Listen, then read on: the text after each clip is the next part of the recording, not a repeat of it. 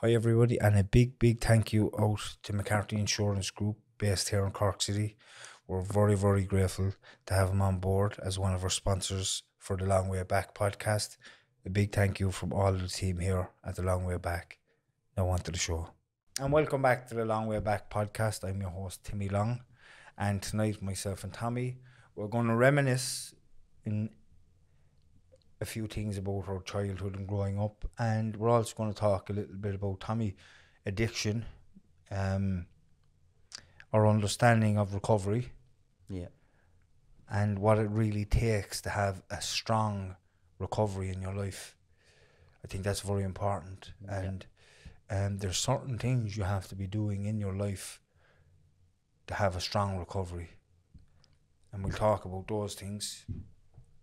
Um, and we'll just um, we'll we'll talk a little bit about maybe prison and and your thinking around prison while you were in there and my thinking around prison when I was in there, and we'll just we'll we'll just kind of look at where we both were in our lives at that time, and we'll have a chat about it Yeah, yeah. you know. So um so we'll probably just start about maybe no growing up and this was on my mind today. We grown up we both grew up in the same house, Tommy, yeah? Yeah. And but we were were two different characters, Yeah. completely different characters. You know, I'm much more introverted and you're more extroverted. Extroverted is more you're you're Out good with like. people and very good socially and everybody loves you. Whereas me, I'm more kind of kind of held back. You know, I live in my head a bit. You know, but in recent years, I've kind of trying to, I've I've I've understood what kind of character I have, and I and I tried to leave myself out a little bit more. Do you know what I mean? Yeah. So, um, like growing up for me, did like I never really felt like I I belonged to anything, you know, because you. of I always in my head, and because of the different things that were going on at home and in school and out the street, I was always kind of caught up in what was going on in my head, and I had beliefs as well that weren't great about myself, you know. Um, I, as you know, like I had a huge head and a small body as a young child, you Yeah. know. Um, and there's a reason for a reason for that. We won't get into that today. Um, but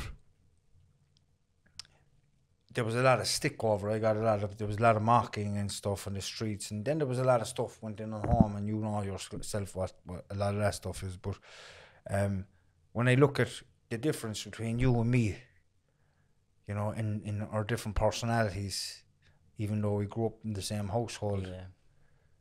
it's it's amazing. Like it's it's so different. Yeah. Well, I had a lot of energy, you see. I had a lot of energy as a kid, and I always had to be out and doing something. You know, I was always, the minute I wake up, I had to be out the door. You know, I had to be up to something. You know, and as you know, and a lot of people know, horses were a big part of my life. I loved them. I loved them, and uh, you know, and at the time there was a lot of horses around the area. Yeah. So they're what kept me going. Do you remember waking up and having horses in the garden? I do. Remember the horses? The see, we had no. At this stage, there was about four or five entrances into the estate that we lived in, and there was like back. There was no fences. There was no walls. There was nothing. Everything was wide open, and that was why there was so many different gangs and and um and just antisocial behaviour within the area. But um, I I remember remember remember the time we were going through the field in, in the school. You were very small. Do you remember that, Tom? No, no, I don't remember it. To be fair, I, I, I remember walking through the field with my mum. I was I was holding onto the buggy and John Paul was in the buggy, our youngest brother. And um, there was a mare and foal in the field.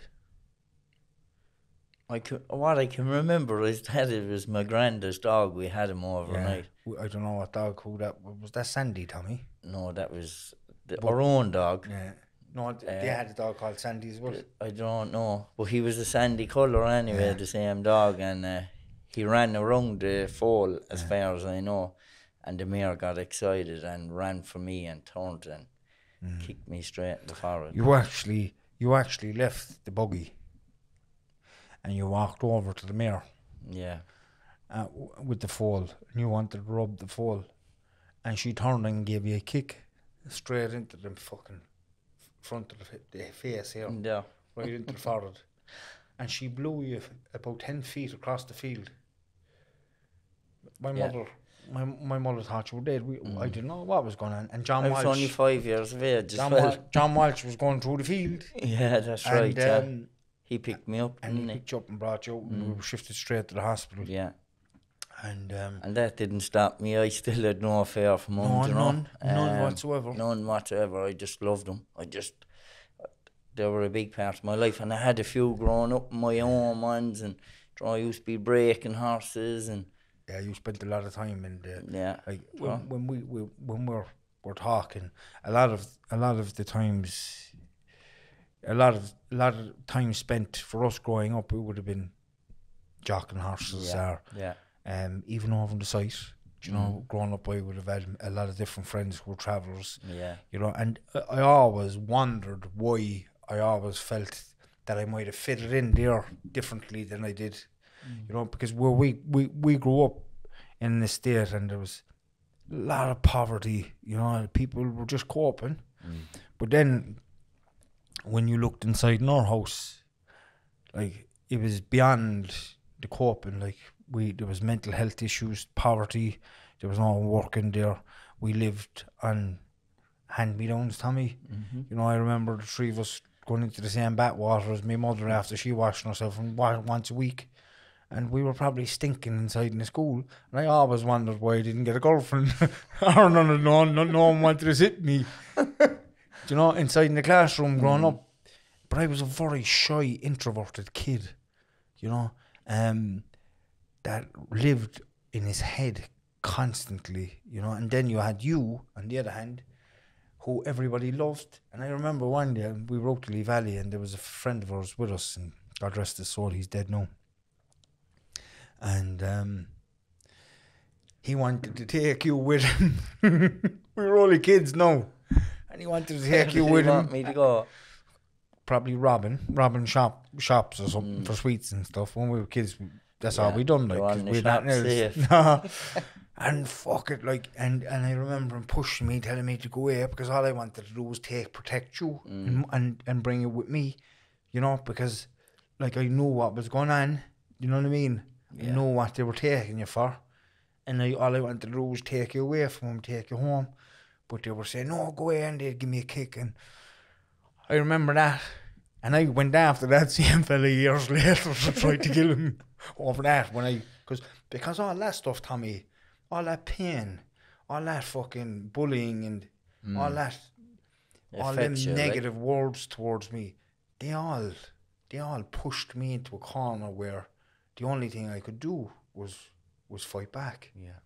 you know, and and some may say like the bully, the bullied becomes the bully, Yeah. you know, and and and maybe so, maybe so, because when I did get involved in drugs and stuff and criminality, the only way to survive in that environment is is to become a bully, you know, and, and that's not something I'm very proud of today about my own life. Yeah, but you want you were never a bully, though. You know, you just defended yourself, defending. But yeah, You know. because Tommy, I always knew deep down within me. I always knew I wasn't a bad person. Mm. I knew the things that I was doing were bad, and I, I but I still had to do them. It was like a protective mechanism that I'd have to build a, Yeah. an armor, a suit to protect me. You know, to to say like, keep away. Yeah. But I know down down below all I wasn't bad. I know I was soft. Yeah. Yeah. Do you know a big softy? you know, which is something that um I've tried to kind of get closer to in the last few years. Mm-hmm.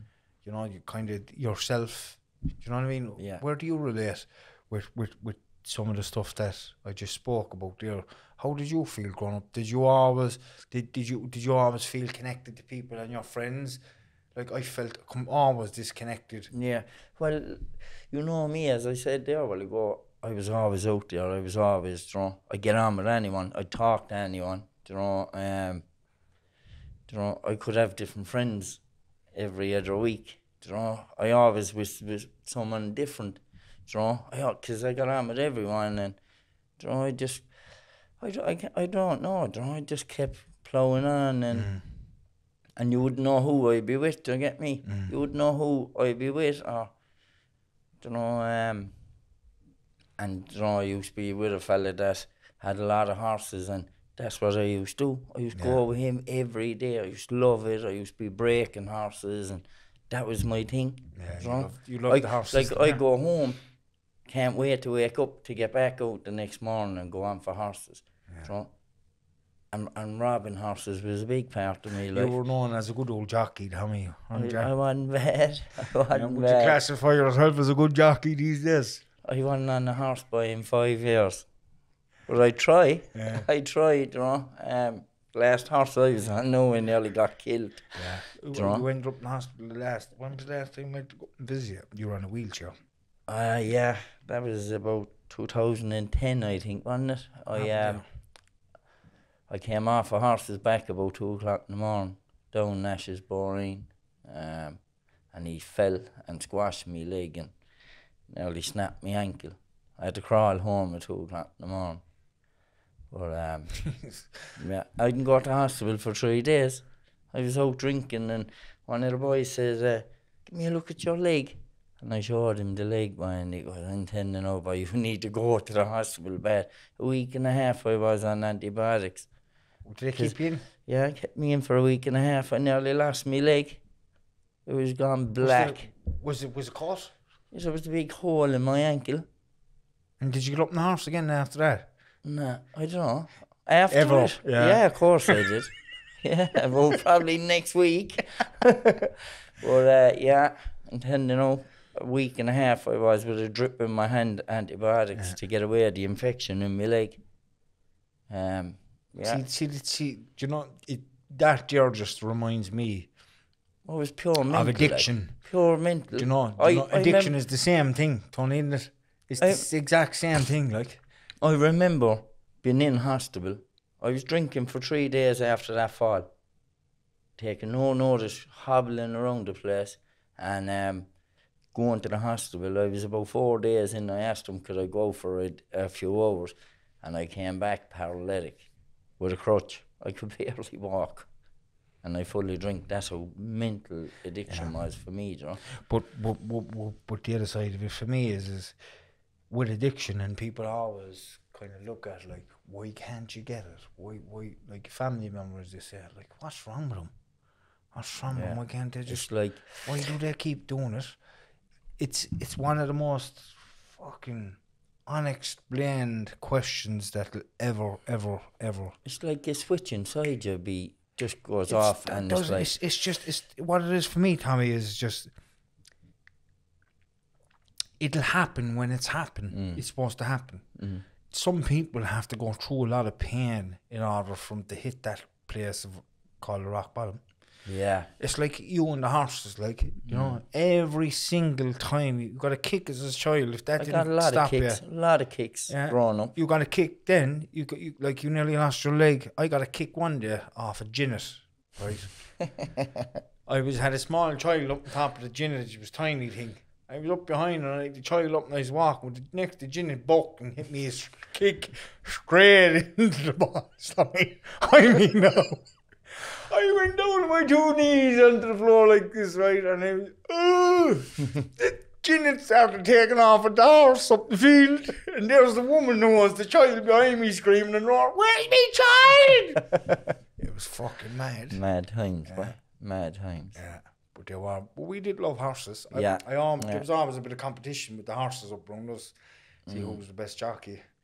But you always kind of came out on top, didn't you, Tom? Always. Always, like- there wouldn't be many, you know, would hold my coat back then. Yeah, Uh, one friend of ours is dead now, got arrested, so he was a great jockey. yeah, I know it's fella you're. You know, um, another one or two, another one or two.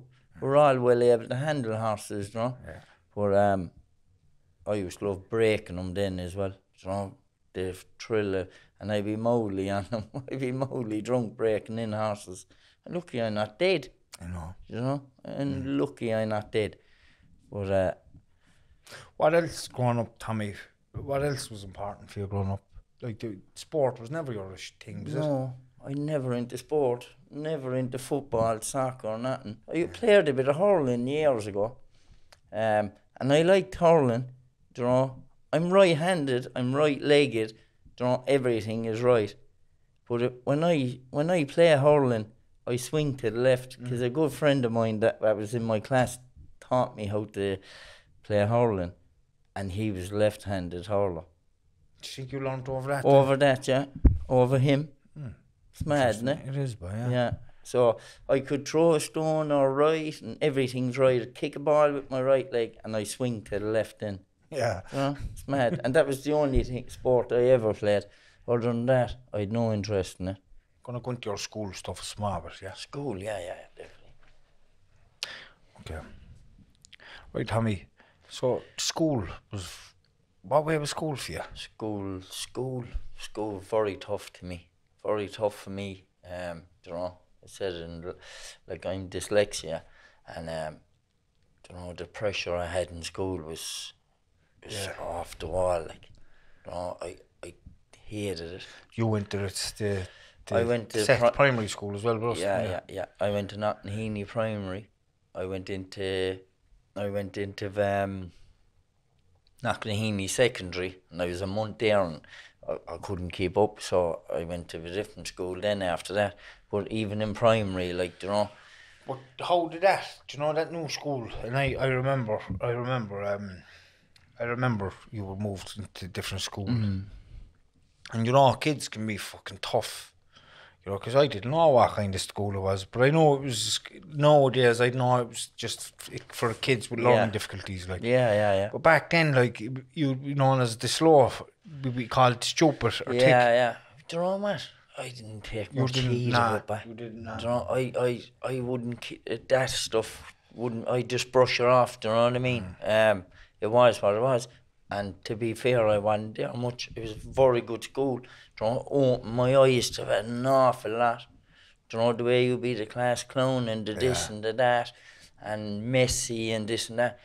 It really, really kind of set me back in myself and like, whoa, there was some people there, draw with with bad difficulty learning and draw looking at them and draw You felt a bit of gratitude for it, yeah Tommy. yeah definitely definitely draw draw like as a kid you'd be laughing at people with a Down syndrome or anything like that draw because you know no different but you know when you go to the school like that it opened your eyes and I always said it I always said it to my son growing up don't ever laugh or mock them people because they're special people you know Yeah, and always.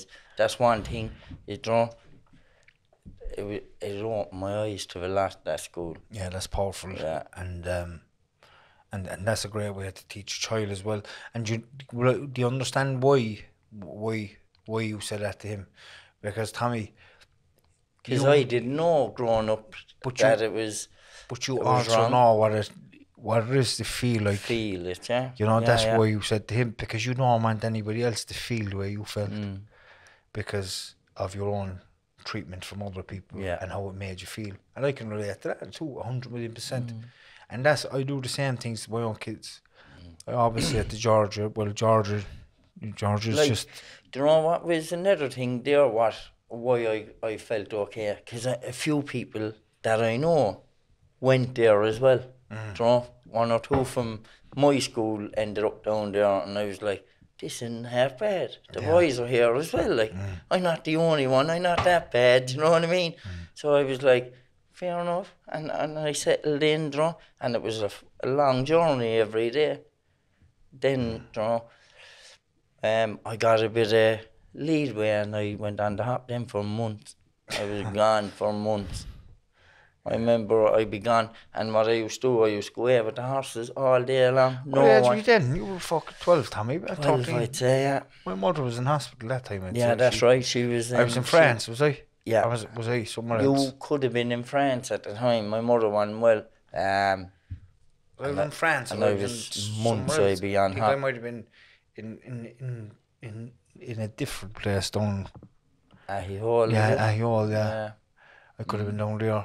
I remember going down there. I used to love going Remember down me there for the came down food. there, the Remember me food on the Sundays was unreal. Remember me nan, Mary, Mary Long came down. Remember her? Remember she was sick. I didn't even fucking know she was sick. Yeah, yeah. Uh, she was uh, She was a legend, but she was a tough fucking bit of stuff. man. yeah, yeah. I was only telling you for a story. I lived with for a while. Because me and my mother weren't getting on. I was tired. I was hard work on me too. As a young fella, I was fucking rebelling against everything. And she says, "Send them fucking down to me." Not No better woman. Oh, very known. She had this little Yorkie of a thing. I swear to God, the thing was re king recanarded. What's the right word? Re. What's the word? Recarnated. Recarnated. I swear to God, the devil's dog, Tommy. This thing was. The legs The off thing had teeth that were. and the dog, I'd be inside and I used to tease the dog no because the fucking thing wouldn't let me near the porch of the house. And I'd, I'd come in and, and would be at the porch and we'd like there the teeth out. And I'd, say, I'd be teasing the dog. I was only young for that. and she'd come in, she'd say, Stop fucking teasing the dog, you! Then she'd give the dog a kick. Get in there. But she was tough, boy.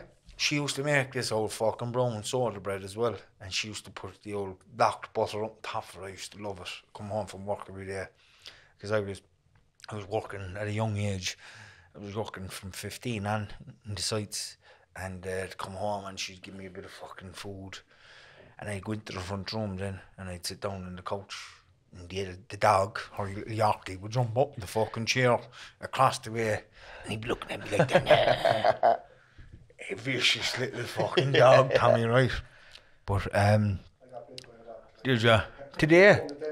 Oh, God, Tony. But, um, but then I'd get paid on a Friday and I'd go out. I'd just go missing from Friday. I was only fucking 14 or 15 at the time. I'd go missing from Friday and I'd come back Sunday night or else Monday morning and go to work. And she just, she knew the story, like, she knew the story. She's just going up to bed and I fucking make her something to eat. And I go and, you know, I get up next morning.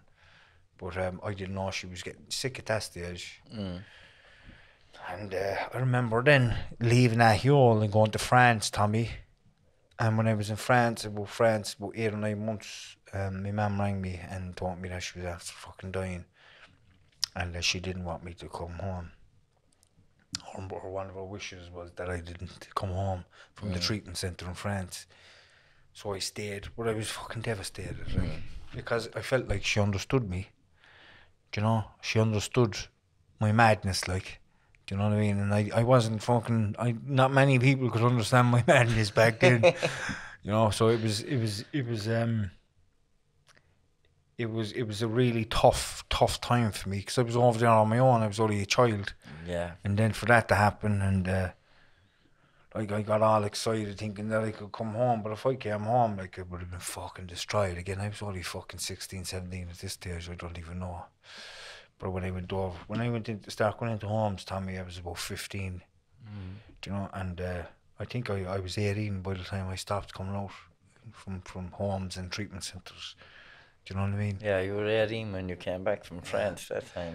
Yeah? Yeah. Um, I remember being at Hull. I think it was ninety-seven, and um, and I went straight over to, to France. Then after that, but it was mad. But what I want to get back to with you is with the school, Tommy. Like you never really, you never were able to read or write through your whole life. No. How no. did you cope with it? Um, I don't know. It was tough. It was tough. Do you know what I mean? And and, and I had to do in school. I had to copy. Yeah. Do you know? You could write stuff on the board all day, and I'd write it down. I've good writing, like, Yeah. but I couldn't spell nothing. Or, Even understand it? no, I no. always struggle to still even to understand. If I'm read, reading something, which is I rarely do, but if I'm looking at something and if I get caught in one word and I don't understand it, I have to stop Yeah, it'll throw you right off everything. Yeah. completely and then gone then from that. But um, Like know, sometimes now when I be reading, I'd read, I'd, I'd, I'd get caught in the word, but I'd go on further. yeah, And then I'd realise what the word's about because the way the rest of the sentence went, you know. But other times then I couldn't, and I'd be just trying to figure it out as I'm going along, you know. Um, Yeah, and school was tough over it. Very tough. I always wa- didn't want to be there, you know. Yeah. I never wanted to be there. always felt like the pressure about that was on me in school was something else. Just wet be rolling at me when I know.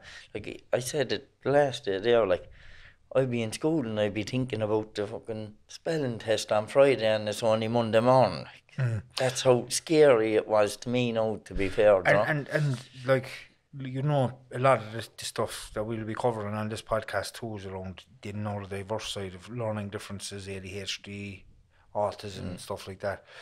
And what you're talking about there is is a massive area that's I don't think is getting enough attention in this country still in mm. education, and that's where you slip through the cracks in the education system. Mm, yeah. No, back then, Tommy, listen, that we didn't have much knowledge. We're talking about the nineties. There wasn't enough known about all this stuff, the neurodiverse stuff, mm. about dyslexia and all the other stuff. There wasn't enough, and there's, that's So- okay. But today, Right. today, we do, we do know more about it. Yeah, but see, when I back then as well, the the oh he's bald, he's a brat, he's this and that. I want uh, no looking back on it, and I know what way it was.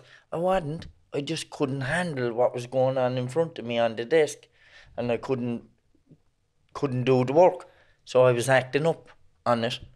Don't and to take me away to what was in front of me on the table, I'd act up. And what kind of behaviours then would, would come from, stem from that? messing and stupidness and getting sent to the principal's office and you know, all that stupidness. Miss, can I go to the toilet? All so the can I just to all get you that, out of that just to get me away from it. I can relate to that. Do you know, um, so that it was tough, but it was really tough because I always felt like there was pressure on me. And and tell me this, Tommy, right? Tell me this, and this is this is a, a big thing for me. Mm. Do you know if if if your education ro- route was set up in a different way, and it was set up in a way where you enjoyed school, mm-hmm.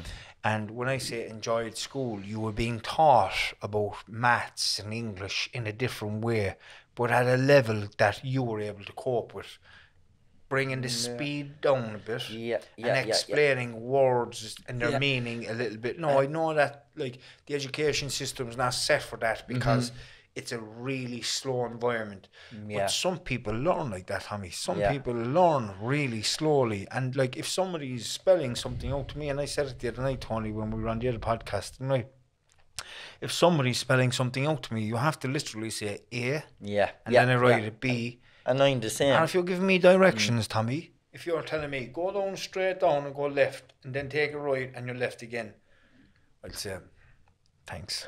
Yeah, and that's the next And I'll person. drive down straight and I'll ask someone then at the next left. Yeah, like I'm the same. If someone, like even our brother there yesterday, I asked him to spell something and he spelled it. Boom, boom, boom, boom.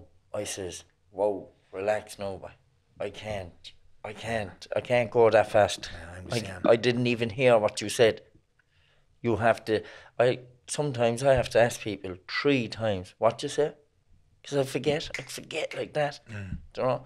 I be saying, slow down. Say it again and then they'd fly on again. I'd have to stop them and say, well, "Hang on, there now. I have A, B, C here." Do you know? So it takes me a long time to register it as well. Yeah. Mm. Like you said something there as well about school. Like when they're teaching in school, when back then I don't know about now, it was like a hundred miles an hour. Do you know? It was going too fast for me, and I, I, I'm on question and they're on ten. I, and that's where all the anxiety and everything came in. Then I was And it's like you freeze. It's like you freeze. yeah. Like there's no. And, and it's like your head's ready to bust, and you're just like, oh, do you know what I mean? Slow down, like. Mm. and your way of coping with that in the end, Tommy was just going on the hop, just not even going to Yeah, taking myself out out of the situation, you know? And Mm. I done that. I done that for months, man, months upon end. But um, yeah, you know, it was it was mental, but it was mental. I felt like there was pressure by the pressure, pressure, pressure, pressure every day. So um, you know, and as you're on about it no, I remember years and years later going to school in prison. Yeah. Draw. When I did go to school in prison, I done FETAC, FETAC level two. You know, and I, I got the sort and all for it, and but we done it slow and steady, you mm. know. Because no because me. them teachers, Tommy, are taught how to teach Mm. to, to meet your level. Yeah, so what she done with me, she goes, right, I told her, I says, I'm dyslexic, I can't read or write. She goes, right, that's fine, there's no bother. She got a sheet. She goes, try that there for me. And I done it, and she knew exactly where I was at. And she goes, right. She goes, you, you're well able for level three after you finished it. But I, I started with the level three in educating prison. So the the level two is is is the basic Junior Cert. yeah, and level three is Junior Cert. No, fuck it. If, if you ask me, it was really basic, all of it. You know, because it was it was tough, Tommy. It was really tough trying to understand what was going on. You know, but learning and then having these beliefs that you're not able, you're not good enough. What are you fucking doing? You're not able for this stuff, and that was how my head was. And then I'd have this kind, I'd freeze. I'd Yeah, have a yeah. meltdown. I remember I remember after a few years, one of the teachers was after I was after doing the FETAC three and uh, the FETAC four, and one of the teachers asked me to do a Junior Cert or the Leaving Cert, and I thought, I thought, oh, all right. So I tried it, Tommy. Um, I got so stressed from Yeah. trying to do the. This was one subject now in the Leaving Cert. It was history she said, like, have you an interest in history? I said, yeah. So I was history, and I put everything I had into it, and I got so stressed, I wouldn't go into the school anymore mm. Yeah. because I, I, I, I didn't want to leave the teachers down. But I was also getting really upset. And one day I went up there and I had a chat to the teacher. She was lovely. And I told her exactly how I was feeling. She says to me, There's no pressure on you. It doesn't matter if you fail or you pass. Says, Just try it. Don't put no pressure on yourself. And I did. I went in there and I tried it. And I done the, the history in the Leaving Cert Foundation section. And um, I think I passed it. You know, I was fucking Okay. so proud of myself. I remember Nicole coming up and visiting me the weekend, and uh, uh, the weekend I got my results. I was showing her the, and the fucking smile on my face with the just complete pride. It was un- unbelievable, Do you know, because I'd never done anything like Yeah, that in yeah. school, Tom. No, Junior Cert. I went to, when I got thrown out of school, I went to FÁS. I went to Youthreach, do you know. Um, and I think I done, I done basic foundation English and maths, and they were the two subjects that I need you needed back then to get a trade. I don't even, I can't even remember sitting in exams or something. Do you know? I think, or one of them was woodwork. I had to make something to pass the Junior Cert as well. And I was always good with my hands. Mm. You know, but do you know, growing up in our area too, Tommy. Do you know, like we, we fit in very easily with everybody Oh, in the area because we never felt awkward. Do you know why? Because everybody Everyone else was in the same spot. yeah. Everyone was You know, the same. Yeah. Anybody that was kind of doing well, like they got slagged to death because they, didn't- were different. They, they didn't hang around with us anyway. no, but they were also slagged.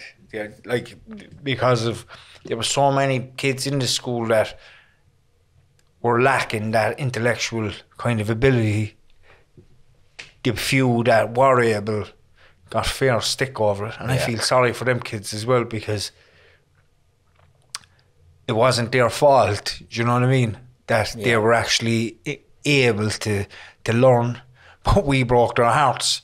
You know, because they were fucking spots, and, and, and but it was never intentional. Yeah. It was just yeah. it was just the way things were, and like even, even do you know when, I left school then and you know and just hanging around the fucking place and then getting into more and more trouble and it was um it, it was just it just kind of it just gets worse when you're hanging around the place, Tommy, because the boredom kicks in Yeah. and you need to be able to do something. Because I was fucking full of energy too.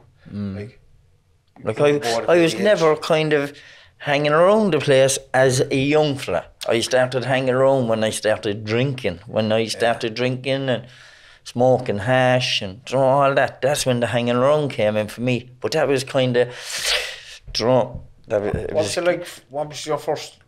What was it like? Oh, your the first, first- drinking, drugging. first thing I took was aerosol cans. Aerosol cans was my first thing. Then it went from that to gas bottles. I remember being kicked off a gas bottle down a friend's back. Two of us. It was scary, By you. By his man, God rest her soul. Oh man, but that was one scare. How we Off the won. big gas bottle. Yeah, the big gas bottles. We were strung out number. She, they used to open the back door and kick us off them. We wouldn't even know the door was opened. It was crazy. but That much of a buzz yeah, off it. Yeah, they used, they got so sick of us. They used to be planking them, and uh, we were round the back there, the big back, we checking everyone. Next minute he says, "I found them." In the back of the car. Let me in. The back of the car. into they the back of the yeah, into the back of the car. I went in first down there. Stuck to the gas bottle. He pulled me out, right? So I let me in, let me in, let me in. I'm standing anyway, right? Oh, to me head. Next thing I grabbed him. Come on, come on, my shot. When he when I pulled him, he fell out on the floor. He did. I took off running, but I got down like. But in his yard, there was all gravel, right? And I was standing on the gravel and I thought they were all eyeballs, but I was running up the back, roaring, help! and you know, oh, stop me. I never, oh, scary, but I had to stop it because I, we were going die. Oh, yeah, we were about 13, I'd say. We were only young. And then, you know, oh, it was horrific. That's fucking mad. Yeah, I used to think I'd be swallowing my tongue and everything on that. How long were you doing that for? Months, months. I had to, I had to stop. I had Yeah. that. What did have killed us.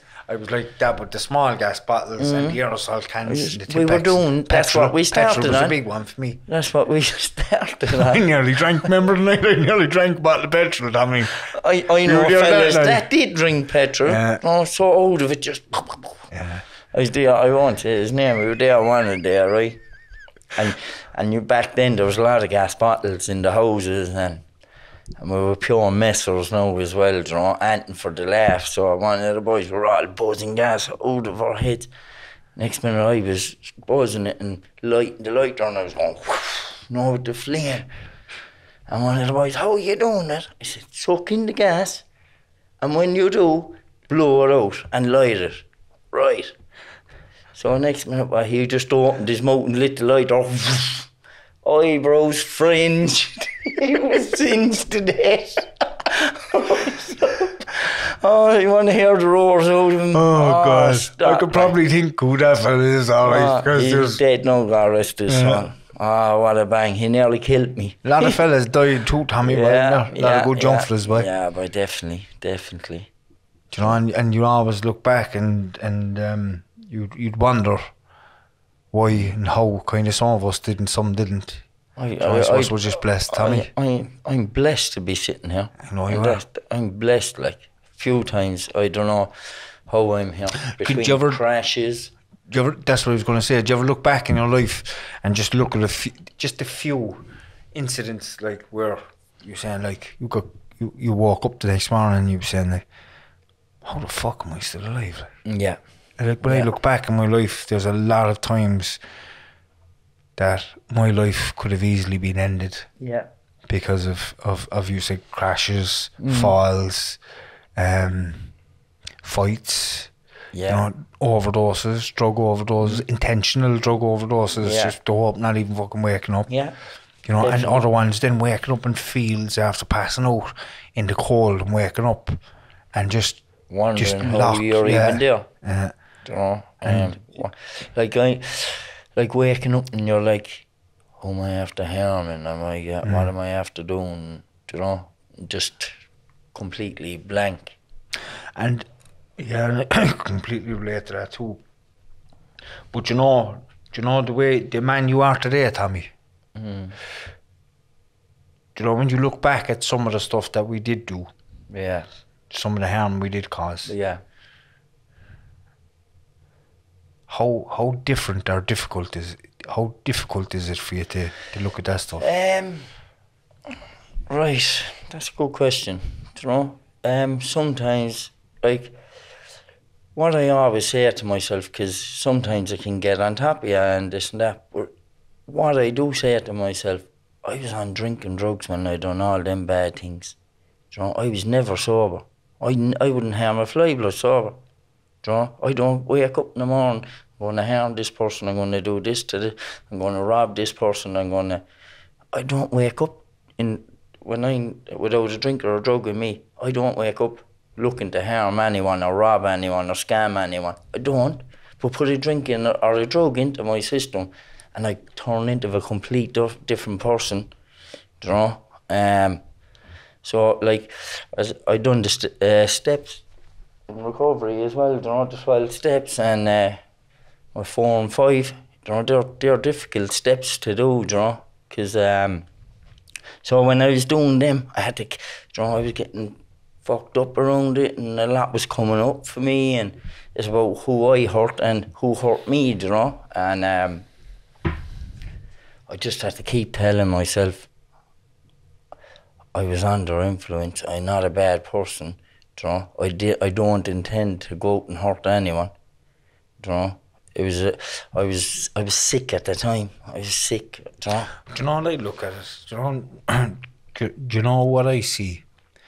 I see all those things, the drinking, the drugs, mm. but I also see a lack of awareness, Tommy. Like, Do you know when you're yeah. using somebody's using alcohol and drugs or any form of addiction, and that addiction has complete control of that person in relation to how they think and what they're willing to do to be able to get whatever funding they need to be able to keep going. Mm. You know, and and all they're really doing is soothing themselves and, and, and blocking out some trauma or some emotion that they're not able to feel. And that's Yeah. how I look at it, right? But when I look at my life today, okay, when I look at the person I am today, right, I'm like you, I wouldn't harm a fly, Mm. okay? We live in a world where where people hurt each other every fucking Yeah. day. Yeah. And we live in a world where there's drama in families, there's drama in relationships between friends, there's drama at work, there's drama everywhere. Okay? But what's important is, Tommy, is kind of just to stay out in your own fucking path. Stay in your own path and just stay away from it. Yeah. And just to also understand that it's okay. Because there is going to be drama and there are going to be people not happy with you for some mm. reason or the other. And that's okay too Yeah. right? Okay, but you need to keep doing your own thing. Oh yeah. I am, I'm not innocent from fucking getting involved in drama in my life because I have a short fuse and my temper gets fused very easily, and that's the, real truth of it.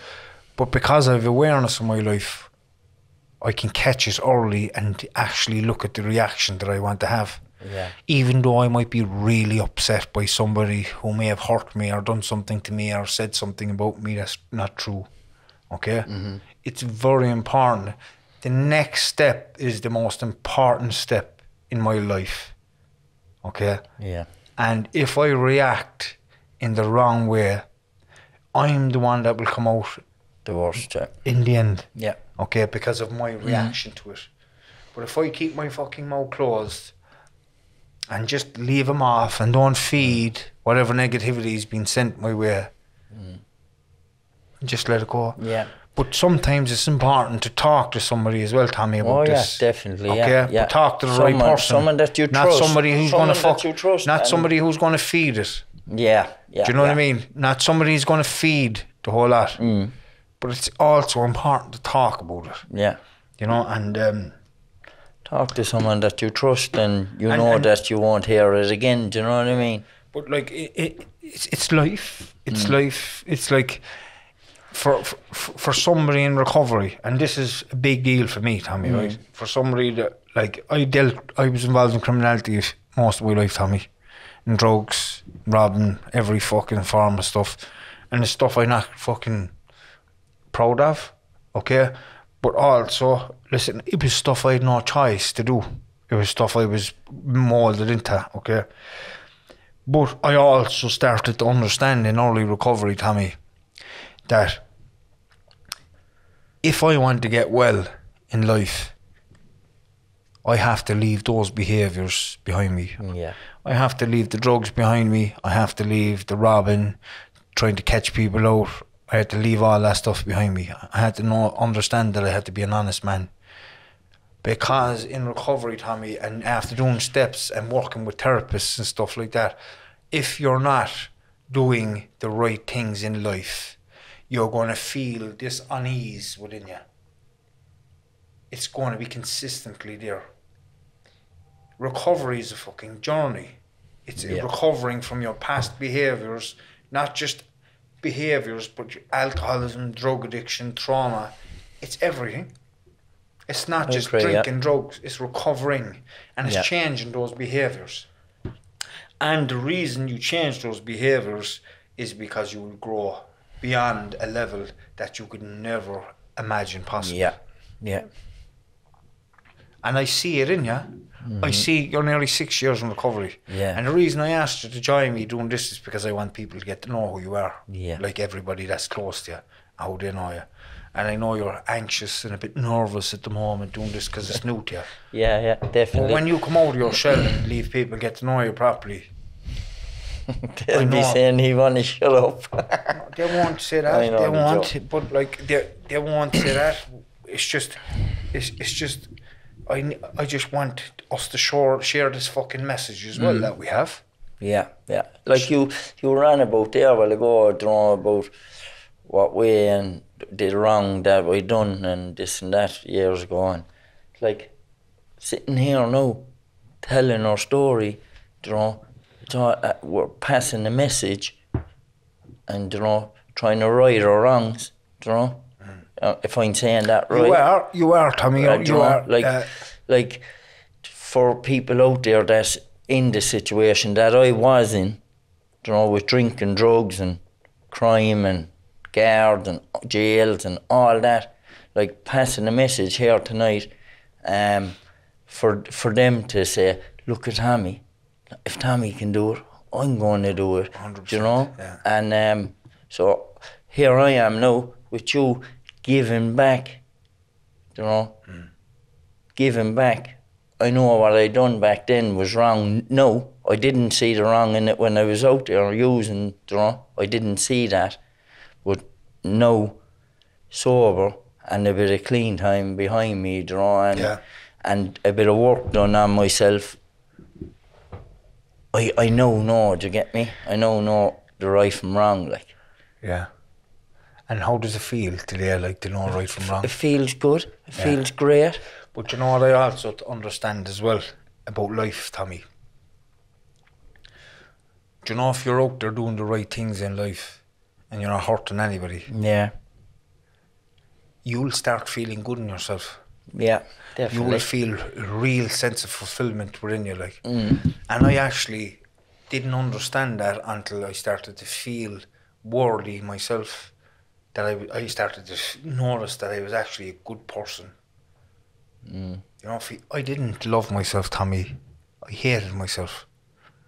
I hated everything about myself. I felt like I was worthless. I was bad. Yeah. You know. Yeah. But that was never who I was.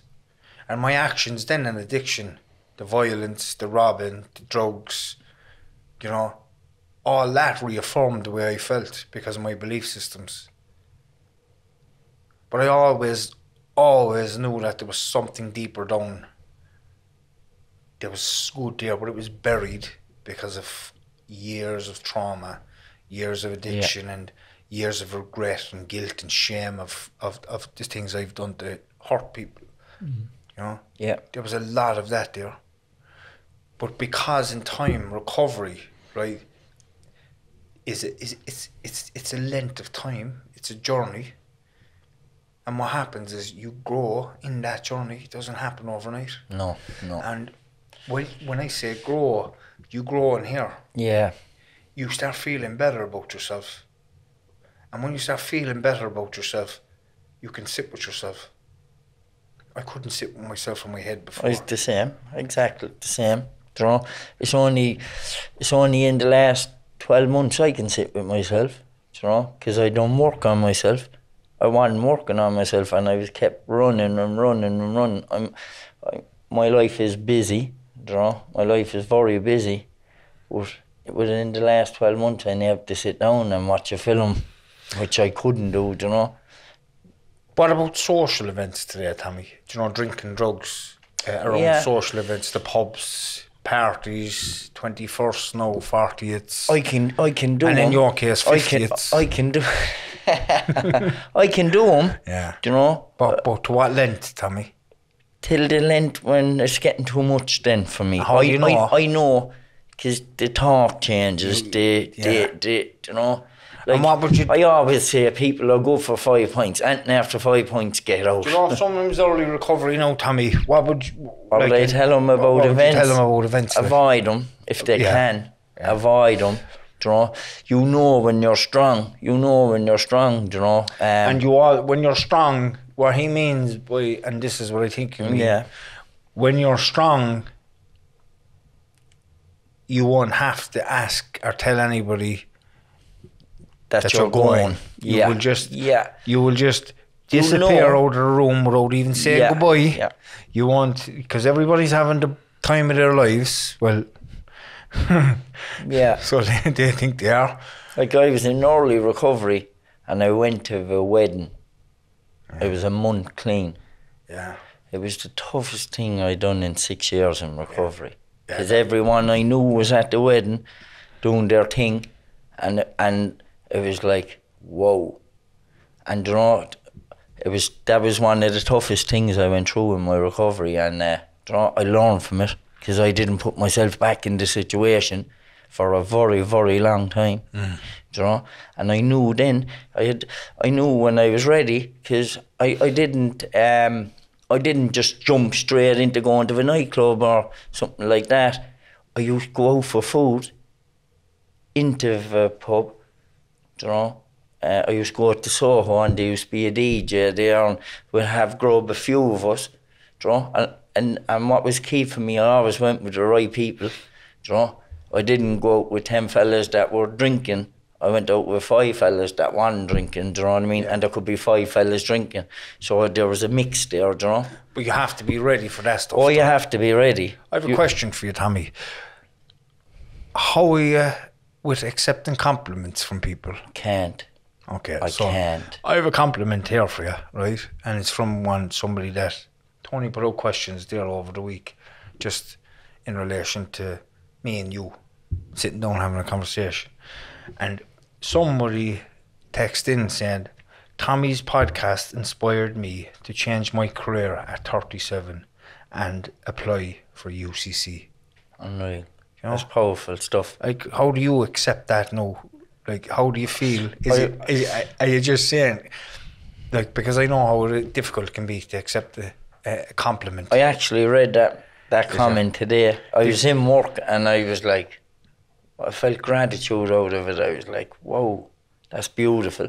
And I went into one of the lads and I goes, look at that, lad. And I read it out for him and draw, I have a better one for you. brilliant. Tommy mentioned to keep to keep recovery, you have to give it away. Okay. Yeah. Tommy is a wonderful giver of hope, kindness, and patience. A wonderful heart inside a kind soul. An inspiration to many, the success of this podcast will be created, will be credited to you both. Unreal. It's beautiful. So how, do, how does that make you feel? it feels good. No. Yeah. You reading it to me. But if someone was face to face with me saying that, I'd be, do you know? Do you get me? Yeah. I'd be, I'd be all over the place, you know, and I, I find it very hard to take compliments. You know, I really do. Um, yeah, they can be Yeah, I can see how uncomfortable it can be for you, but in time, in time, in time, Yeah. accepting Yeah. compliments is I just, remember, I remember in o- in recovery, and someone telling me, I think it was in treatment, someone telling me look in the mirror, and tell tell myself I love myself. Oh my God, it was one of the toughest things I ever done in my life. Do you know? And that's something similar to that. Mm. That's accepting a compliment. Yeah. I couldn't do it. I couldn't do it. I probably still find it hard today. don't get me wrong, I'd be in the mirror getting myself all dolled up, but I don't be saying I love you. you know, it's just whoa, relax, step back. Do you know? And, and I can I, relate to don't, that. I don't know what it is. It's just Yeah. I can relate to it, and I'm going to show you something here, right? And it's on my phone. I showed you, Tony, didn't I? I'm not sure. My screensaver. I think so, yeah. My screensaver was a picture of myself smiling into the camera. And it's not something to show that I'm mad about myself or in love about I myself. actually that's on your profile Yeah. as well, isn't it? It's- Yeah. I thought you were just messing. it is it is though, but it's my screensaver because the more I look at it and I, I, I the, when I look at it it's a funny kind of look. Yeah. to the camera. Yeah, I have it here. Would you believe my own screensaver was myself as well? But I'm holding up two salmon. I, I was I was out walking one evening and I see a fella with two salmon and I said, Can I pick them up down?" And he says, Go on and I took a picture. There's my screensaver see over there, Tony. Can you see that? Yeah. Hold it up towards that camera there. Yeah, yeah, yeah. That's good. See it? And the reason it's it's like that is because for a long, long time, Tommy, I couldn't look into my in, no mirror. I get what you mean now I by could that. never look at Cause no it, mirror. 'cause it is a silly face you're making, isn't But you see, when I look at that now, I just feel happy by. But you know, if I looked at that and it was me doing that, I'd be cringing. I, I and I completely un- I understand what You you're know, saying. I'd be like, oh, I completely understand what you're saying, but like, I felt I felt it was, and it's and listen, I'm, I'm not talking about this stuff now. Fucking Yeah, yeah. Weak for myself because you know. I guess am. I get you what I get It's what you just- mean a hundred it's- percent. It's a healing. Yeah, It's part of yeah. the process of healing for I'd me. be at home now and win if you and do and put it as your screensaver because what it is, Tommy, is, is you're looking at yourself and you're saying, Do you know what? Fair fucking play to them. I'd be I'd be hiding it on people and everything if that was me. You know But that's it's, it, it's I'd about like, it's about can't let it's, anyone it's, see it's, that. it's actually about tapping yourself on the back Mm. and saying, you know what? Fair play. You know, you got through it. yeah, You know, you're still on your journey, but you got through that. And I'm proud of you. yeah. And I'm proud of you. We don't do that to ourselves. we fucking one sec, one sec. Mm. We credit everybody else, and we, and we say, "Well, fucking done." We never sit still and look at the things we've done in our own lives. For the first time in my life, I looked at what I've accomplished in the last few years since I got sober, and I sat there, and I looked at everything that was going against me before with my mental health and the mm. addiction. And I looked at the things that I've accomplished. And I don't mean financial things, I mean intrinsic things. My own well being, how I can sit with myself, how I don't hate myself anymore, how I don't beat myself up anymore for mm. things. You know, I'm on about that stuff. And that's worth its weight in gold. I mean, in the most precious material on the planet it's worth Yeah. more than that. And the most important thing to me in my life today is my well being, bar none. Because if my well being's not good, I know good to my wife and my kids. I know good to you or Tony. I know good to anybody that's listening to this. You Yeah. know? But if I'm looking after my well being, I can give everybody else something as well. I can go out to work. I can provide for my family. You know, I can go home. I can love my wife. I can love my kids. You can be spend time with them and the dog. You know, it's about my me. It's about you. You, your everything in your life is about you. And when you become to a place that you love you, and you're happy with you, you'll be able to give everybody around you what they need to help them with them, and for them to make to be happy with themselves. And it's about showing them. It's about showing them how to love themselves as well. Mm. And that's one of the biggest things on this planet that that there's so much confusion and, and lack of understanding around. We go through life trying to make ourselves feel happier and better with material stuff and physical stuff. You know, making our bodies look good, you know, there's a big thing today with with, with, with these different surgeries to make ourselves good, and I think it's great. If somebody wants to improve their confidence, it's fantastic. Mm. But like, let's start doing it from an internal side. Let's start. Let's start feeling good in here, and it takes work. It takes a lot of work, and the reason it does take a lot of work is because we're conditioned to feel like shit. We're conditioned to feel like we're no good, that we're worthless, and it's all down to our our our, our environment growing up, what we grew up around, our interactions with our parents, our attachments to our parents and everybody around us, how we got on in school, how it was in the street, you know. If somebody really close to you died when you were young, you know, all these different things play a massive part in how we feel about ourselves. Hmm. And it's about understanding all that stuff first and, and the effect it has on us. And there's some fantastic books out there today that help us to understand that side of ourselves. Bessel van der Kolk's The Body Keeps the Score. It's a great book to understand how we're conditioned and how our body retains emotions from experiences that can be negative, trauma, abuse, neglect, and our body keeps that. Mm.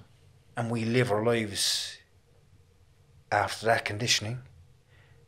So we have the voice in the head that you're no good, you're worthless, you're, you're bad, you're stupid, you're thick, you're ugly, nobody wants you. We have that voice. Every Yeah. one of us have it. It depends. It depends on how we were conditioned and how we grew up. And that's the key. Understand this stuff. Learn about it. And learn that these conditions and how you were molded is not who you are. You're not in that you're nothing but pure love. Neither is Tony there sitting in the chair. Neither am I. But our conditioning stops us from becoming that. It Yeah. stops us from becoming pure love and becoming everything that we should have been.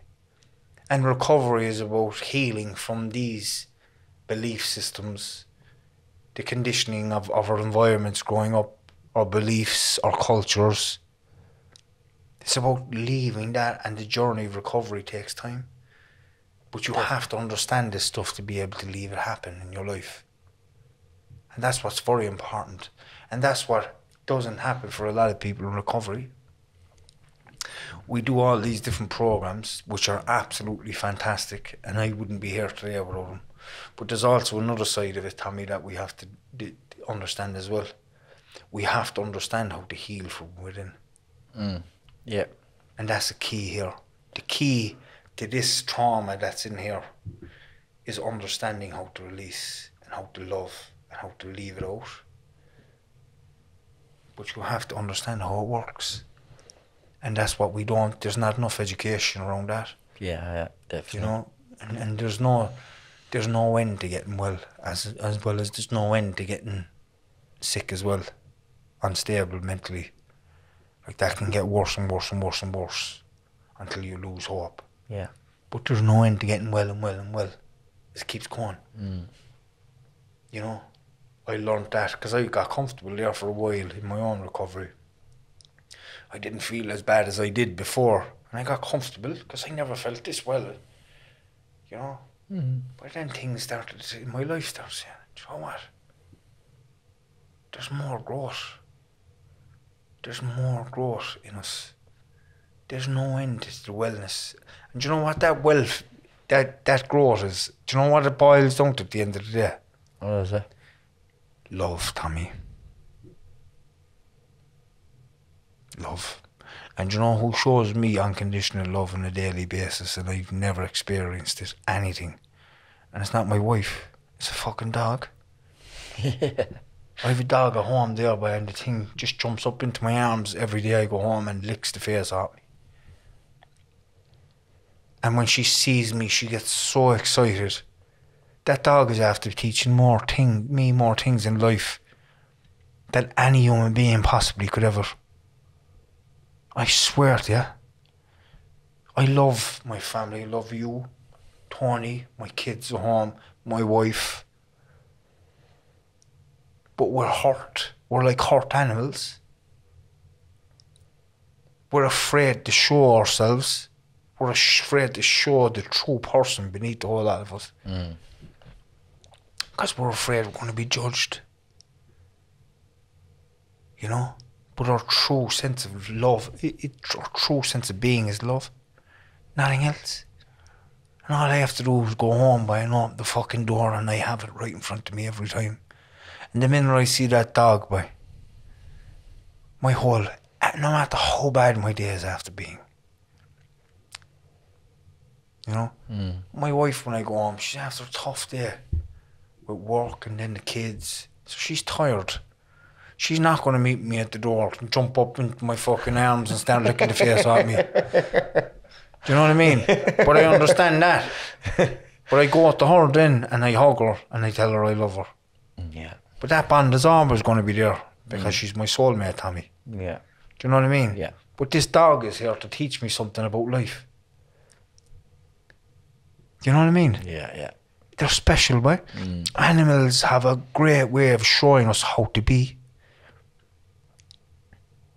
You know? Sorry, I went off on a tangent there, boys. That was powerful to me. Mm. Know? Um, on really listening to you know, if, you Can you I- relate in any way, Tom? I can relate, but you know, I can get kind of awkward in it if you get me.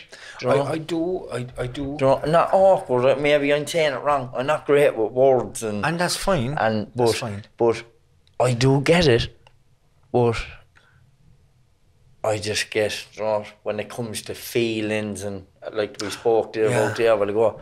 That's I power. just- I, I just think it's I just think unreal that stuff, that you're at that level and I just think it's in us all. I- yeah, of course it's I, in think- us all. I think it's in us all. Like, and not everybody. Like, listen, this is my fucking reaction to it. This is that. yeah. Not everybody is going to look at what I have to say. Yeah, Like, a lot Yeah. of people are going to be caught up in a lot of negativity in their life. They're not going to enjoy. 100%. They're not going to like what I have to talk about here. Yeah, They're going to yeah. say, "Look at the fucking idiot. Look at that, you man." Mm. You know. yeah, but There's like, a lot of people. Listen, listen. That's the reality of it. Mm. But for the people that can listen to this and can Yeah, relate to this, yeah, and I know there's a lot of people out there can relate to this, you know, because Mm. I used to think everybody was bad before. I thought because my experiences with human beings growing up was horrific, Mm. and I thought people were fucking bad and horrible and stay away from them. They're just there to hurt you. yeah, But I came across some magnificent fucking human beings, Tommy, in my lifetime. You know, in recovery yeah, people who caught my hand walking through the darkest of fucking tunnels, the darkest roads, and they didn't leave go and they didn't turn around and run when I was facing some fucking bad demons. Mm. They stood by me and they fucking put their arms around me and they cried with me. You know? yeah. I do. I and that's it. that's that's that's the healing I have today. Mm. It's not it's not just because of me and recovery. It's Yeah. because of those people and my recovery yeah. and how they helped me. But you need to want the help as well, don't you? Tommy, That's the big thing. I was in so much pain.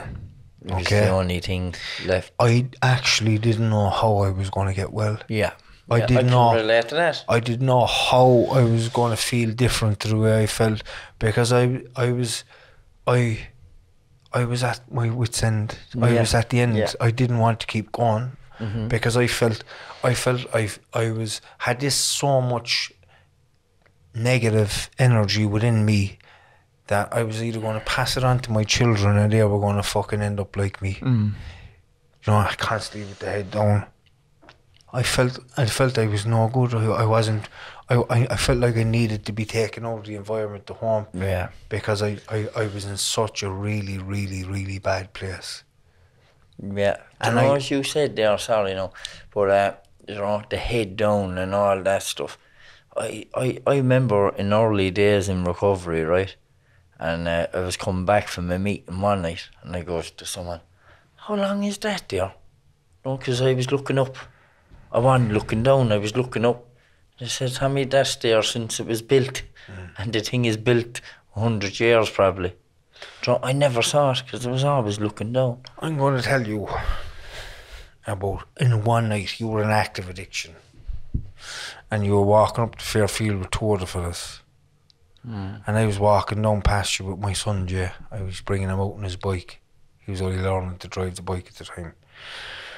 And you were so bad now at this stage, Tommy. You were fucking barely recognisable mm. by me. And I seen you. And you seen me, and the shame in your face when you passed me. You didn't even say hello. Yeah. None of us did.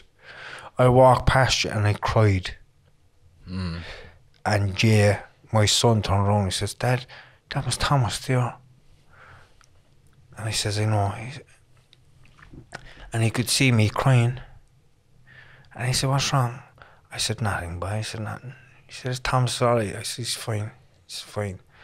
But the reason I cried is because I knew I couldn't do anything for you at that time. Yeah. And not that I couldn't not do it. I, I also knew that it might be the last time I even see her. Mm. I really never knew, Tommy, when the last time I'd see you was going to be. And it was the same with John Paul, Yeah. right? And, and we had situations in our life at the moment where people aren't doing well, okay? And we can put a condition on how well they are in their recovery. Mm. I've learned from from your addiction and, and John Paul's addiction to stay completely neutral when one of you are caught up when you're you're caught up in addiction. Yeah. Because I know there's nothing I can do. Because if you're on the chase and you're on the prowl for drink or drugs or whatever it may be, there's nothing else in your mind than that. And there's nothing I'm going to do going to change it. So, if I put a condition on the help I'm giving you, okay, and you must get well, and if you don't get well because of that condition I'm putting on it, I'll get angry with you and I'll tell you fuck off. I'm no good to you. I'm no good to you. But if you ring me and ask you ask for help, if you ring me and you want to talk, I'm there for you. Yeah. Yeah. Yeah. But I'm not going to chase you. I learnt chasing somebody is not good. I learned that myself. I learned that myself, you know, but um, yeah, it takes a lot out of you too, do you know what I It mean? does, Tommy. It Takes a does, of you. especially when somebody that When it's somebody close, and, yeah. uh, and you love yeah, them. Yeah, yeah, yeah. Do you know what I mean? Like you, uh, you said that now about the park and, and you says you didn't know when you were going to see me. I, I remember getting a phone call off you, and I said it in before, like uh, you saying, uh, Tommy, I'm after accepting that I'm going to get a phone call that you're dead, like, do you know? And uh, I was like, whoa. Mm-hmm. I'm, in- I'm in the depths of it, like, and I'm like, oh, this fucking, fucking, do you know what I mean? And, and uh, but now today, looking back on it, I, I understand. Back then, I didn't, you know. Um, and uh, like, I sent you a video the other night. Someone sent me a video from six years ago, Yeah. and I sent it to people. I sent it to a lot of my friends, and they all text me back saying, "Who's he? Who are they?" Sham, he's in some goof. Who is he? None of them knew We put who a it was. picture of that video, Tony, up as well when we put no, this podcast up no one knew. It was it was me. of Tommy. He of that picture that he has. Um, I looked at it and just to give people a feel of, of maybe would you be would you be would you be open to maybe playing a clip of the video, Tommy, just to show people Yeah, yeah, what it's no like. bother, no bother. It was it was actually I w- Tommy will send you the clip there. Um, it was actually about I'd say two to three months before I got clean. You know, um, even even looking at it, I actually thanked the person. The the person that gave to me was kind of like, "Are you sure you want this?" And I, I I don't know what way you're going to get over it. And I once I heard it was when I was in addiction. I says, "Yeah, send it on straight away." And when he did, I said, "Thanks." You know, like it just goes to show where I was and where I am today. You know, I was like, whoa. I never in my life thought I was that bad. You know, um, I'm not messing. My head's about with it, the the mic. Yeah, and you actually have hair up. Uh, Your hair is like a is moppy that head high. hair. Yeah. You know, it's like whoa.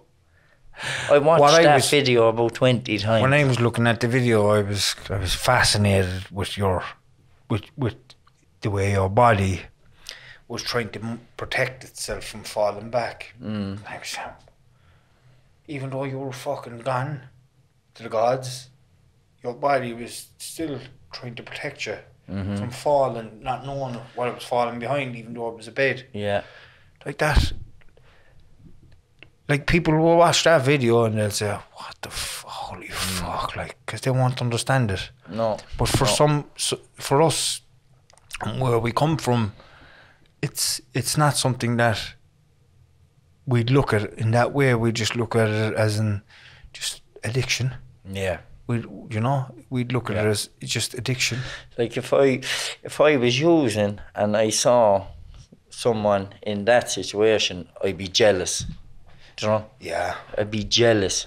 yeah. You know? Uh, it's you'd be like, where did he get that stuff? Like, I can completely relate to it. you know, where did he get that? I want some of that. Yeah. Do you know, that's that's That's that's, that's a- the madness of it. That is the madness of life. Yeah, Where if yeah, it was somebody else that wasn't used to that and, life, and they'd be, they'd they'd be be saying that's disgusting. what's that like? Yeah. How could? But it's, it, and it's not, it's it's not. It's not a case that somebody's being completely naive or anything like that. It's just, it's just, they wouldn't be used to it, huh? Mm. You know, Yeah. it's, it's they're, it, some people are brought up, and that which is great, where they're brought up in environments where, where they're loving and caring, and and they get all their, the, the emotional needs that they require to become a healthy adult. Do you know, somebody that's tuned into being able to process emotions when they come up from, and and and it's very healthy, you know. But in our circumstances, it wasn't like that. Yeah. Like we we we Everything was pushed down and it- it was pushed down, but we also disconnected. yeah. We were disconnected because we didn't know how to process. So, for example, if I was out in the street and I was called Big Head Knob, all right, we got a few clatters off a bigger fella, I daren't went home because I get kicked the fucking dead. So I had to learn to fight. Mm-hmm. But you see that stuff that was happening to me, that wasn't just a physical, it, it was an emotional side as well. I was being affected. And it was taking something to me from me. Because the more beatings I got, the more emotional disconnect was happening for me. You know, because I was starting to become something I wasn't. I was a fucking, I was a shy kid. I wasn't bad. Hmm. I was very sensitive. Do you know? used to be out the front fixing, fixing bikes. I was a loner, Tommy. Yeah. I didn't know how to connect with was people. doing worse to the bikes. you know. I, but, but you know what, Tommy? Them bikes out the front of the Yeah. house used to take me away from my head. he dismantled a brand new bike. But I was, it, was- it, it was, Yeah. it was something that helped me to cope back then. Because Yeah, I, I know. struggled with my head, Tommy, mm. massively as a child. Yeah. I didn't know how to cope. I really didn't know how to cope. I couldn't talk. I couldn't talk. I, I didn't know how to keep keep my head up and talk to anybody. I was just, I just, I was destroyed. Mm. You know? Yeah, I, I, c- I can be like I'm as I as you said, you know, draw like me. I'm out there and I'm be chatting and I get on and, but, but I can be like that too then as well. Draw oh shy and there's there's that side of it as well there as well with me. Draw, but like I'm all well, what's happening? How you getting on? Blah blah blah. But there's a shy side as well and. Mm. And and and pe- people could think, oh, he's an ignorant cunt, but I'm not. I just get fucked up myself. Do you know what I mean? It's Tell like, me one thing, Tommy. Tell me this, right? And if anybody's ever kind of listened to this pod or a different podcast before, they've heard my story. They know my rock bottom and how it happened. Mhm. What was your rock bottom? Like, I, I don't think you've ever told me what your rock bottom was. Like, why did you stop? Because I always, I always wondered. bottom, and if that video goes up, that's my rock bottom. That's very close to my rock bottom there. Um, But like, what was what was what happened? What really happened? That there was such a sense of awareness that you had you just had and you knew that you had to change your life because you were at the end of it. Like, I, it just took its toll on me, but I couldn't. what was the moment? What was the moment in your life that you said? I, I can't say exactly. For right? me, for me, it was lying down in a cell, sitting, sitting on my knees on the floor, trying to pick up pieces of white paint off this, off the floor, thinking hmm. that they were cracks of cocaine, yeah, and jumping onto the bed and crying for the night. That was the like I didn't know that that was my rock bottom there and then.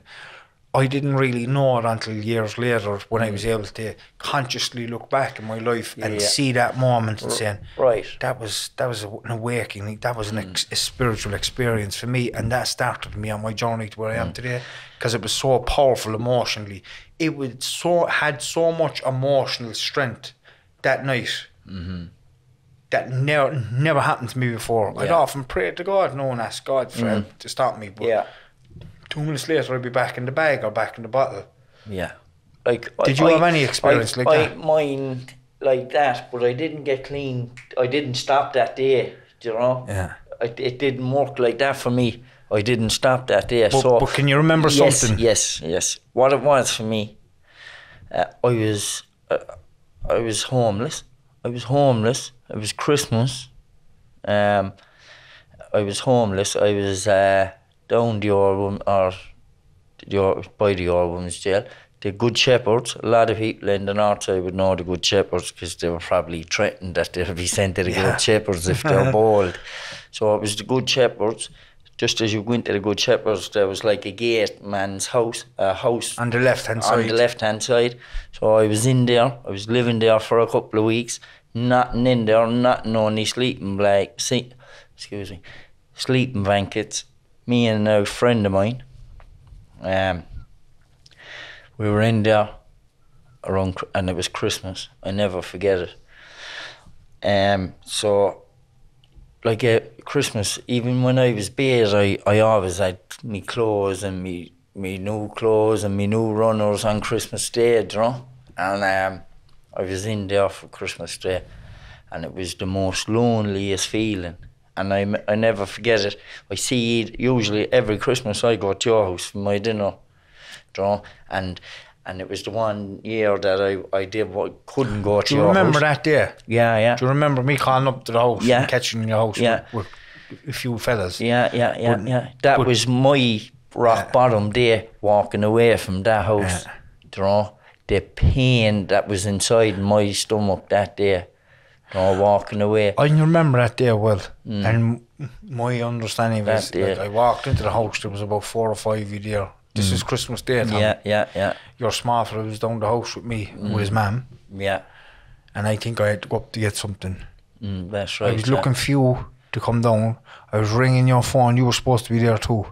Mm, and you, you wouldn't answer. So I came up around the house, I caught you in the house, and I was actually disgusted that it was Christmas Day and you were inside in the house doing your thing. mm, I got very fucking angry that day with you. And I rarely kind of, at this stage, I was in recovery, I rarely got fucking angry with you because I understood addiction a little bit more. yeah. But you went, you went, my, I was fucking heartbroken that day. That was a sad day for me. No, that was the day by that broke me. That day, I back down to the thing. You know, I back down to the. You couldn't eat a squat, squat. No, you wouldn't put a dog in there. Um, back down there, by and I never. You know, I sure the boys that was with me went away, by and I cried myself to sleep that night. In, in That there sounds like it. you know, cried myself to sleep by and and uh, I, I said I have to I have to do something I have to do something know I was fucked.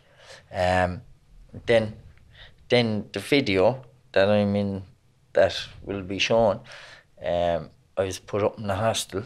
I was in a hostel where we were. A lot of us were all using in there. Know, took advantage of the house and fucking smoking heroin and and and you see you see it in the video, know, and um, a couple about I'd say it could have been two months after it, maybe less, I ended up in Francis Farm. Yeah. I went to Francis Farm in May, I think, the start of May.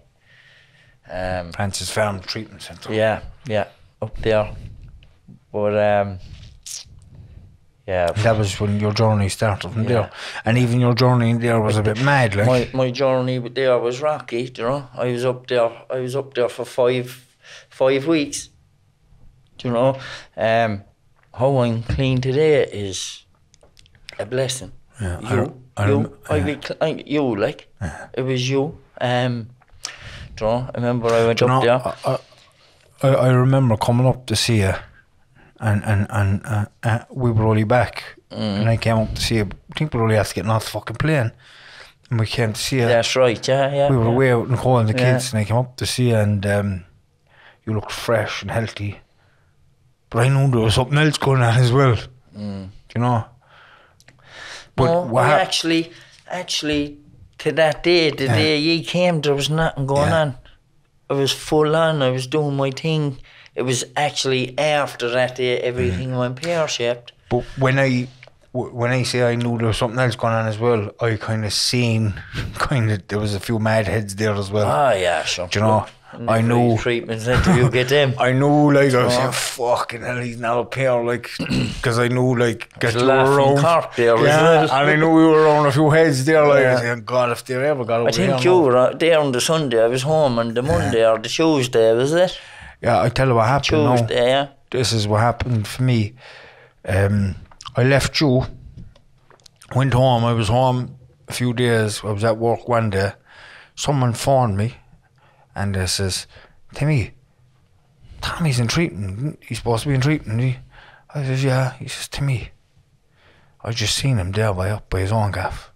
Mm. I said, "What?" He said, "Yeah." So I jumped into the car anyway, and I drove up the road, and I I seen you just walking out your drive, Mm. right? Go in and get a bag, you says. And Come on. I, didn't know what was after happening at this mm. stage. 'cause I didn't even know you were using at this stage, Mm.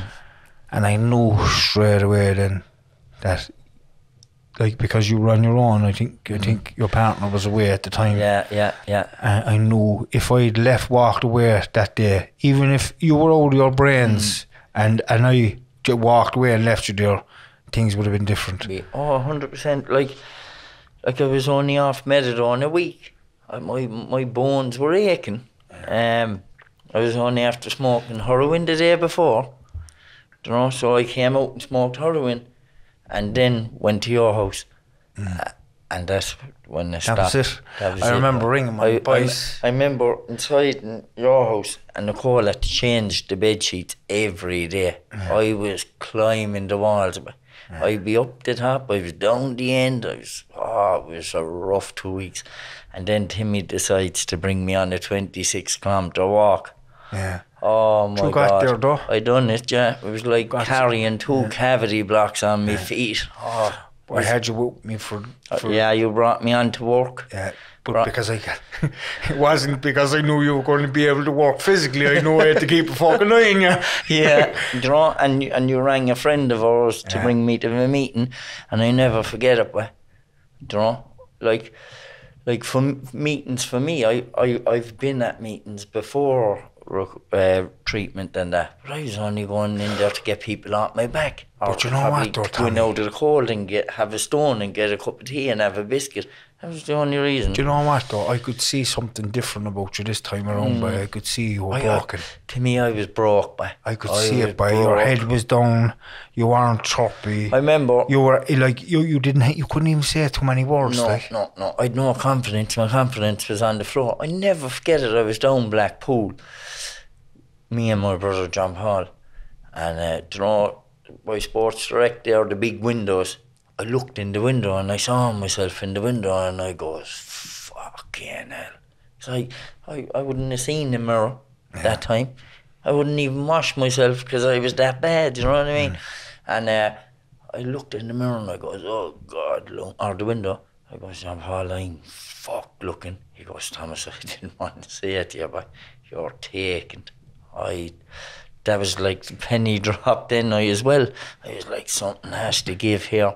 So, so it was always in my head Yeah. I have to I knew I was getting worse and getting worse and do I said it before like um at the end I, I wanted to die like know, I wanted I put needles in my hands just to go over and die 'cause a lot of people were dying at the time and I was saying that's what I do now because I, I, I hadn't the courage to take my own life so I said I do it the easy way stick a needle in my hand and go over and I'm gone. But it didn't happen. You know it didn't happen. Um, and I done it again. You know I done it twice in the one day. That was that was just to end it all. One fella done it then another fella done it and I was saying I have to go now first time ever doing it, doing it twice. I says it has to happen, but it didn't. Draw and thank God it didn't. Draw and and I today I always say, draw I wasn't meant to die. I wasn't meant to die. I I'm here for a reason, and and. And the reason I think I'm here is to pass a message to the next sufferer and addict. And I, I'm a big believer of that. Like, I know, I Tommy. really am. Like, do you know? I, it's, I don't know. Tell people how how how how different your life has changed from from that moment, from that day that you came down to my house, right? Because you were only out of treatment, Yeah. and that was the start of your recovery process in the outside. How, So- what have what is the difference? What can you get in life if you put your head down and you want a different life? You want to be able to be happy, love yourself. What do you have to do to be get to the place where you are today? What did you do? Well, I tell you now, what I done, I went to the very meeting the second night in your house. I went to your house on uh, Wednesday. The second night, I went to the meeting. It was a Thursday night meeting. It was called Laverna. I'll never forget it. Newcomers meeting it was, NA meeting. And uh, I went into that meeting. Um, everyone I knew a lot of people in there. I spoke and I got a lot of feedback. And at the end of it, they said uh, they were all saying, "Keep coming back, keep coming back." And I said, if I take Anthony out of that meeting, I'm going to keep coming back. And I did. I came back the next night, and I came back the next night, and the next night, and I was dragging myself there because I just had to. I had to keep drunk. So then I got hungry for it. I got hungry for recovery. I was feeling good. I was getting stronger. I was getting, oh, I like this. I was looking at other people, what they had. I want what they have. You? And uh, I remember, I remember, I remember someone saying to me inside the meeting, you, you keep coming to these rooms and you get a life beyond your wildest dreams. And I was like, well, know, this fella, life beyond. So what I thought that was, was fancy cars, know, best of clothes, jewellery, all I thought it was all flashy stuff. That's what I thought. No, the life beyond the world. But you know what it was? Going home and putting my head on the pillow and going to sleep without thinking about drugs. Do you know, not not going into bed and wondering where am I going to get the next fix, who am I going to rob tomorrow if I can, or who am I going to scam, or how am I going to get it? You know, that that's what it was for me. Putting my head, you know, answering my phone without the phone falling out of my hand because I I don't know who it was, who I owed money to, or anything like that. So um, that's what I, want. Life beyond this wildest dreams to me. My brain slowing down, do you know.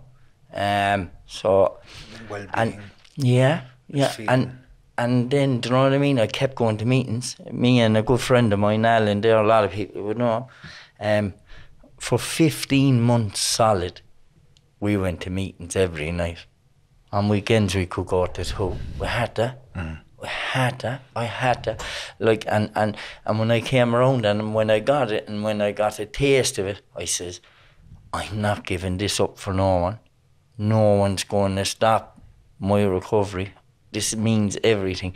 I'm no good to no one with a drink or a drug in my system. You know? Um, I was two months clean. Like in in recovery, you celebrate a clean time, like a year, one year. I celebrated every. I celebrated thirty days, sixty days, nine. I went for meals for all them. 90 days, nine months, or six months, nine months, 12 months, 18. I, people were sick to death of going out for food with me. you know? Because I celebrated every one of them because it was so hard to get. Yeah. You know? And um, so I, I, I've drawn, I was getting cleaned my tags. They were a big thing to me. They were giving me motivation. You know? I got my, my just for today. I want my 30 days, you know, the colours and all that. I wanted them all. I was looking at them on the table and I get one tonight and I look up at the table and I say, I'm getting that one next. You know what I mean? And that drove me on Yeah. you know um and even even like and this is going out to people that are in recovery and are, are trying to get to recovery meetings are key like they're key you know And what do meetings give somebody? What what what what do they get from meetings, Tommy? you get hope. You get hope and you know you you relate to people. Because for me right i went into the meeting and I, I before i went into the meeting i thought i was the only one in the world that had what was going on in my head. And um and going into the meeting and listening to other people and relating to them I often went into the meeting saying, someone's after telling this fella now my story and he's up here telling me my stuff. Do you know? Mm. That's that's because I thought it was only me that Yeah. went through all this, and I'm like, nah, someone definitely told him. Huh? Hmm. He's on about me here, like, do you know what I mean? And I'm like, yeah. And I looking around the room, who could have told him now? no, but and then the next night I, I was hearing it again. I, I, I'd always take something out of a meeting, you know? Uh, Like I could relate to him or relate to her. I'd be like, whoa, I thought I was the only person that done that. Whoa. Do you know? And then Magic, I, isn't it? yeah, it's mad. And then I knew I was in the right place. You know? If I went, to, I go into a meeting and I share. You know? But if I came out to someone and tried to talk to them that didn't know anything recovery, that's a mad sign him in. But you know, in, in recovery, people understand you. People outside are, are not in recovery, they won't understand you. You know? Um, so, yeah, be it into them. For, for I went to conventions, I used to look forward, you know. No, I, I always said that nothing will get in my way of my recovery. And uh, I started getting tattoos of, of, of recovery on my arm. You know? What about work and financially then? So I, I started work. I started to work two months in my recovery. You? Some people say don't don't jump into work, don't jump into relationships. You know, they say that. But but I I have a busy mind, so I need structure and I needed work. And and, and the, the job at the time, you know, it wasn't big money I was going into. It was handy money. It was all right. It got me by. It wasn't crazy, you know. Um, I worked for it and I loved it, and it was and it was a job from half seven in the morning to five o'clock in the evening. So I took up a lot of my day. So work, home, dinner, meeting. I done that for fifteen months. All it, work, home, meeting. I had to do it. That was my routine. Do you know, that was my routine. I was afraid to change my routine in any way in case I went off track. Do you know, um, you know it's, it, I, the way I explained it, it's not easy. Life is still there. You know, you still have your problems and your this and that. But going into recovery, going into rooms, you could listen to someone. You could hear on some. You could have a problem, and you could hear on someone having the same problem two days ago, and you say, he done this now when he had that problem. I'll try it and see how I get on with it. You know? And and I used to do a lot of that. You know?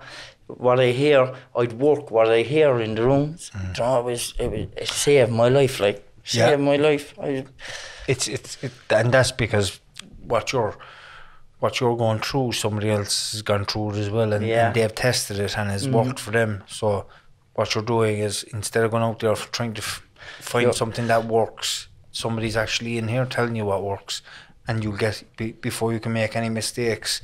You're trying what Yeah. they've they've um, spoke about what has happened in their lives and what's worked for them in their lives, Mm. and that's the key. That is the key to it. But but what it all boils down to is, uh, for for me, is the meetings. The meetings are the key. Oh yeah. The meetings are the key, and the steps, the program that And comes get, with get a sponsor. Get a sponsor when you're ready, you know? Yeah, the Um, programs that come with with, with, with, with with these different groups, you know, A, NA, GA, See. CA, you've oh, OA.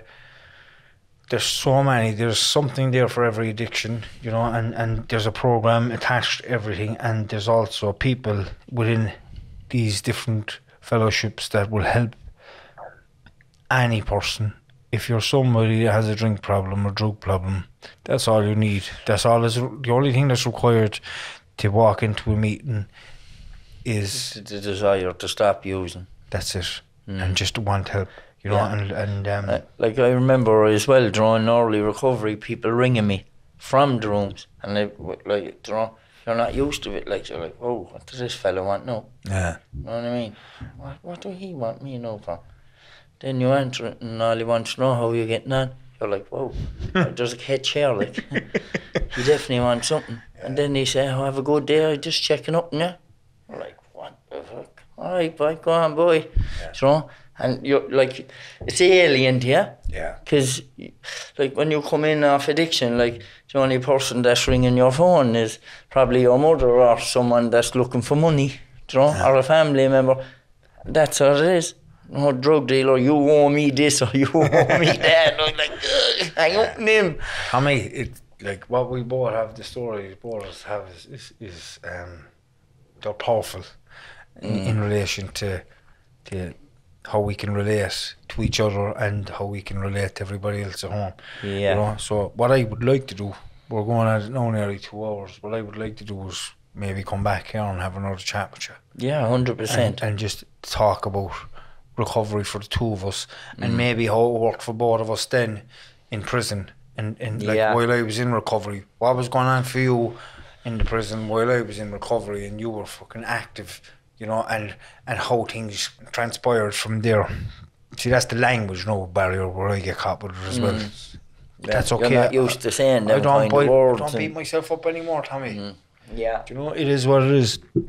So we'll come back, Tommy, and we'll we'll do this again because I, I want to I want there's loads more stuff that we we can ch- chat about and and um and help other people who are on their journey. Yeah. A lot of stuff around um a lot of the program for me is a lot of the psychotherapy stuff and other stuff that I've done as well Yeah. to help me along my way and maybe I'll talk about how, how we work as human beings and how we can break down the whole process of the head and the emotion stuff and we'll have a good conversation about that and what works for you and what works for me. So we'll do that. It'll be part two this Tommy. So Yeah.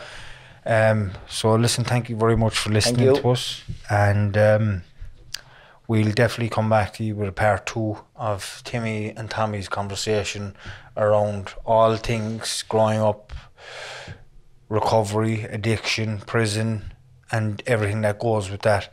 So for now, it's Timmy and Tommy, the Long. Way Back podcast. And if you want to listen to this, you can find you- you're probably you're listening to it already.